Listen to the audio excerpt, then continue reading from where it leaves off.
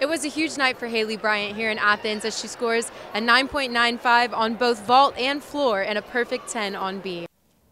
LSU senior gymnast Haleigh Bryant shined in Friday's meet against the Georgia Gym Dogs. She started the night on bars where she scored a 9.85 before moving on to the vault to claim a team high score of 9.95. Haleigh was just getting started. On the floor, she matched her vault score with another 9.95 to help strengthen the Tigers' lead on Georgia during the second half of the meet. Haleigh closed out the competition by scoring a perfect 10 on beam, her second perfect 10 in two weeks. Haleigh was also the all around champion of Friday's meet with a personal score of 39.75. The Tigers beat the Bulldogs 197.625 to 197.075.